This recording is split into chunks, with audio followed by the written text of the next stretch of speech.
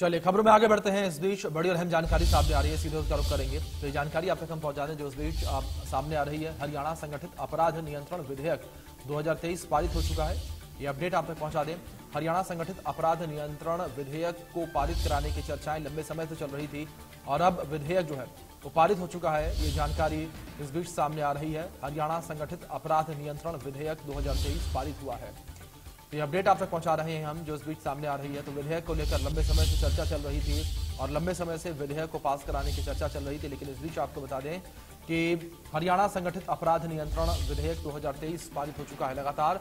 सत्ता पक्ष की ओर से कहना था विधेयक को लेकर कि विधेयक के आने से जो आपराधिक गतिविधियाँ हैं, प्रदेश में कम होंगी, अपराध पर लगाम लगाई जा सकेगी और पुलिस का बोलबाला प्रदेश में देखने को मिलेगा। शांति व्यवस्था कायम रहेगी, लेकिन इस बीच आपको बता दें कि हरियाणा संगठित अपराध नियंत्रण विधेयक 2023 पारित हो चुका है सदन में। लंबे समय से विधेयक को लेकर चर्चा की जा रही थी।